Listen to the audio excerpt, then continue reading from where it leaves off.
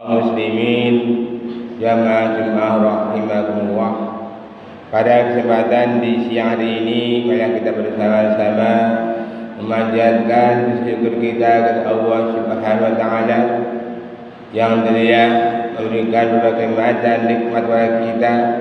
Apa nikmat sehat, nikmat sempat sehingga kita diberi kemudahan bisa berkumpul bersatu rahmi bertolak ilmi di masjid ini mudah-mudahan dengan niat yang satu menghadap ridho ilahi Allah membuka pintu rezeki bagi kita sampai hari nanti yang akhirnya kita dimasukkan ke dalam golongan orang-orang yang bertakwa di nanti. Salawat dan salam kita haturkan kepada junjungan kita Nabi besar Muhammad sallallahu alaihi wasallam beserta keluarga dan sahabatnya yang senantiasa telah memberikan berbagai macam kita dalam kehidupan sehingga sahabatnya kita rindukan kita nantikan sampai hari kiamat. Muslimin jamaah salat Jumat rahimakumullah tak tersadari bahwa ketika kita masih bulan Dzulhijjah ternyata bulan Dzulhijjah adalah bulan yang sangat istimewa bulan yang di dalamnya merupakan kumpulan dari berbagai macam amal ibadah. Mulai dari puasa, sholat, berkorban, melaksanakan haji dan umrah, tahalul, lima kemudian tahu dan sebagainya, semuanya adalah bersatu dalam satu bulan yang namanya ada bulan Dzulhijjah. Berbahagialah bagi kita semua yang masih diberi kesempatan untuk bisa hidup di bulan Dzulhijjah. Apalagi saat ini kita sudah masuki di 10 hari terakhir di bulan Dzulhijjah. Untuk itu mari kita pertahankan yaitu amal ibadah kita di bulan Dzulhijjah ini. Yang dari pertanyaan adalah apakah kita termasuk orang-orang yang soleh? Sehubungan dengan hal di atas, khutbah kali ini saya akan menyampaikan tema khutbah dengan tema adalah lima tanda orang yang soleh.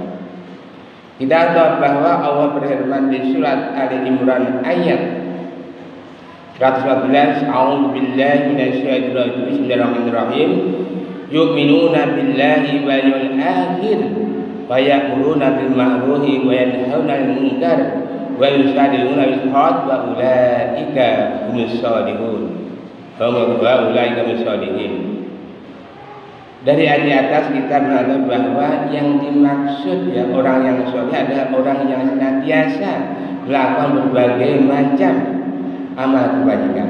Di sini ada dua hal yang kita garis bawahi. Ada yang namanya ada kesolehan ritual dan kesolehan sosial. Untuk itu dalam lima tanda orang yang soleh ada yang pertama adalah iman kepada Allah Subhanahu wa taala. Yu'minuna billah.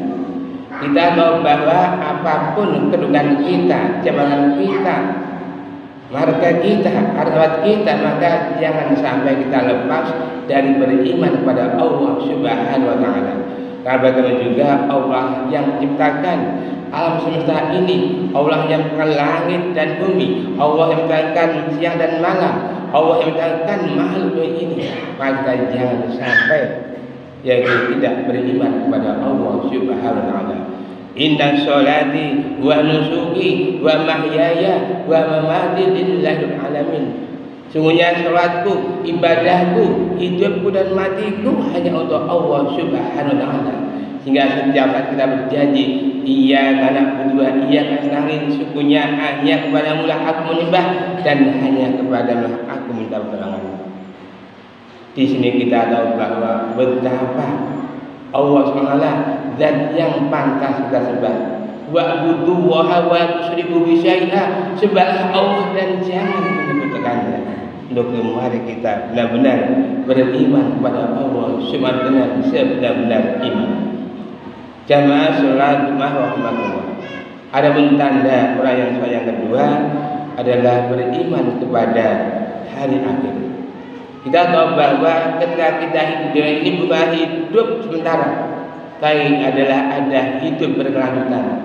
Kita hidup di dunia ini ibarat hanya makan mimpi. Suatu saat kita akan dipanggil kepada Allah SWT. Kita berada di alam dariyah. Kita berada di alam akhirat. Ada peristiwa kiamat. Ada peristiwa yaitu pengumuman masa untuk apa menerima buku catatan kemudian juga ada perintah untuk mian timbangan amal kemudian dibawa ke Kausar dan di situ kita nanti akan dibawa yaitu untuk berada jembatan ke mustaqim ini. Di situlah nanti nasib kita ke surga atau neraka. Jadi hidup ini adalah pilihan. Pilih surga atau neraka pilih pahala atau dosa pilih melaksanakan perintah atau melaksanakan uh, larangan dan sebagainya. Dengan demikian manakala kita bisa memilah dan memilih antara yang halal dan yang haram, antara pahala dan dosa, maka kita termasuk orang-orang yang beruntung. Jamaah sholat Jumat rahimakumullah. Adapun tanda yang ketiga orang yang soleh adalah senantiasa mengajak yaitu hal kebaikan. Wa ya'muruna ma'ruf yaitu mengajak kepada kebaikan. Pada hari itu manakala kita mau dan mampu mengajak kepada kebaikan orang, orang banyak, maka kita mendapat predikat dari Allah SWT yaitu khairul ummah, umat yang terbaik. Allah berfirman di surat Ali Imran ayat 10, "Kuntum khairal ummatin ukhrijat linnas ta'muruna bil ma'ruf." Kamu semua ada umat yang terbaik yang diharapkan manusia untuk apa? Mengajak kepada kebaikan, mengajak kepada hal yang makruh. Untuk itu mari sebelum kita mengajak orang lain untuk berbuat baik maka perbaikilah dulu diri kita sendiri. Bagaimana? Sudahlah kita berbuat baik untuk diri kita sendiri. Kalau kita sudah berbuat baik untuk diri kita sendiri, mari kita jadikan teladan hidup kita dalam kehidupan untuk keluarga, tetangga. Kalau kita sudah melaksanakan, mari kita ajak orang lain. Apa artinya kalau kita mengajak orang lain yang kita tidak melakukan apa-apa, kita tidak melakukan perbuatan, Kabur matan min dawahi anda kul alun Dosa besar orang yang mengatakan Mengajak Tapi tidak mau melaksanakan. Pada itu Ketika kita mau dan mampu Yaitu mengajak kebaikan Mari kita ajak sesuai dengan Tugas dan pokok fungsinya sendiri yang ahli ekonomi silahkan ahli ekonomi. Yang ahli ibadah silahkan ahli ibadah. Yang ahli pedagang silahkan dagang yang ahli pendidikan silahkan dengan dagangnya yang ahli politik silahkan dengan politiknya. Yang tidak agama Islam. Ada agama yang luas agama yang lengkap. Hulu bismillah kawah Maka kamu dalam agama Islam secara sempurna. Dengan demikian manakala kita memiliki potensi sebenarnya dengan mana kita masing-masing maka tidak ada alasan untuk tidak mengajak ke dalam kebaikan. Muslimin jamaah surat marat ada pun tanda yang keempat orang yang sholat adalah mencegah kepada kemungkaran. Kita tahu bahwa kemungkaran yang terjadi di bumi ini adalah akibat ulah dan oleh manusia telah terjadi kerusakan di daratan dan di darat di lautan karena ulah manusia. Oh berfirman surat Ar-Rum ayat 41 Dua hasad bil badi bahri bima kasbat aydina telah terjadi kerusakan di daratan dan di lautan akibat tangan-tangan perbuatan manusia itu sendiri. Untuk itu ketika ada kerusakan di bumi ini bagaimana peran kita? Ada kemungkaran, ada keperjudian, ada kemaksiatan, bagaimana peran kita? Apakah kita membiarkan begitu saja? Kalau kita membiarkan begitu saja ada kemungkaran, maka kalau kita mendiamkan saja dan tidak setuju, itu tanda orang yang lemah iman. Untuk itu dari dalam dalam memberantas kemungkaran kemaksiatan yang meraja di sekitar kita ini memang yang paling berhak bisa menghentikan mereka adalah dengan tangan-tangan kekuasaan. Apakah Pak Presiden, apakah Pak Menteri, apakah Pak Bupati, apakah Pak Gubernur, apakah Pak Camat, Pak Lurah dan sebagainya, dia yang paling berperan di dalam memberantas kemaksiatan, kemungkaran bagi perjudian yang ada di mana-mana. Yang jadi masalah adalah mengapa ada apa yang mas jadi backingnya. dalam kemajuan ini. Ini semua adalah karena ulah dan oleh manusia sendiri. Maka Allah akan mencabut rahmatnya, mencabut barokahnya dari yang dan bumi. Walau anna alal qura amanu wa taqau la fatahna alaihim barakat min Kalau sekiranya penduduk suatu negeri itu beriman dan bertakwa, maka Allah akan menurunkan barokahnya berupa kebahagiaan, kesejahteraan, kedamaian, ketenteraman, akan tapi ketika mereka tidak beriman, tidak bertakwa, maka barokahnya akan dicabut. Di mana di situ akan terjadi kerusakan. Muslimin jamaah rahimahullah. Ada tanda yang kelima orang soleh adalah bersegera untuk melakukan kebaikan. Wa yaitu bersegera untuk melakukan kebaikan. Mumpung kita belum terlambat, mari mumpung kita masih sehat, mari kita memiliki jiwa yang kuat, semangat, tekad yang mantap untuk apa? Untuk meraih cita tidak tertinggi apa? Yaitu mati syahid. Karena dengan mati syahid, insya Allah kita akan berada di surga. Ketika kita masih hidup, mari kita berikan yaitu apa? Potensi diri kita, yaitu apa? Motivasi hidup kita apa?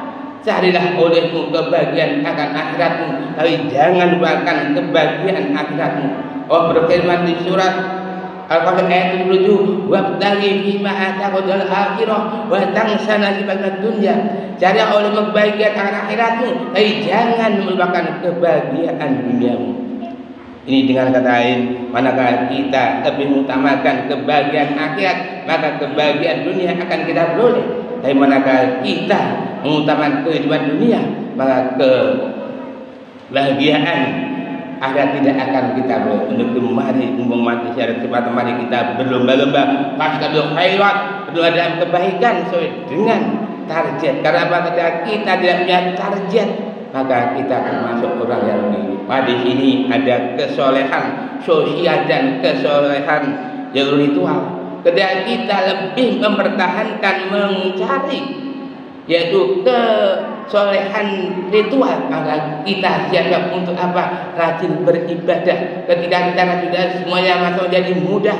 Kita siapkan sholat berjamaah tahajud sunat puasa tilawah semuanya adalah untuk diri kita sendiri. Bagaimana perbedaan kita dengan Allah SWT bagaimana hablumillah bagaimana kita dengan Allah SWT dengan kesolehan ritual ini? Pada dari itu jangan sekali-kali jadi jenazah sebelum kita memperbaiki kesolehan ritual kita. Begitu juga kesolehan sosial perlu kita perbaiki bagaimana hubungan kita terhadap sesama. Bagaimana hubungan kita terhadap fakir miskin janda dan anak yatim? Bagaimana kita menyantuni mereka maka itu dengan hablum nas hubungan manusia yang satu lain insya Allah kita akan menjadi kuat. Dengan hablum nas akan terjalin jatuh silaturahmi. Dengan silaturahmi akan berkah rezeki.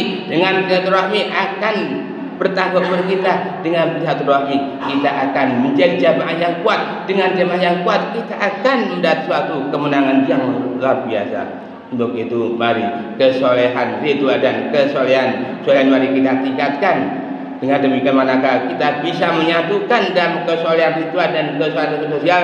Insya Allah Allah akan memberikan kemudahan bagi kita dan segala hal. Dan Allah akan membantu kita semuanya berkumpul bersama keluarga di jannah. Allahumma amin. Barakallahu laka fi azim. A'udzu billahi minasyaitonir rajim. Qul huwallahu ahad. Allahu samad. Lam yalid wa lam yulad wa lam yakul lahu kufuwan ahad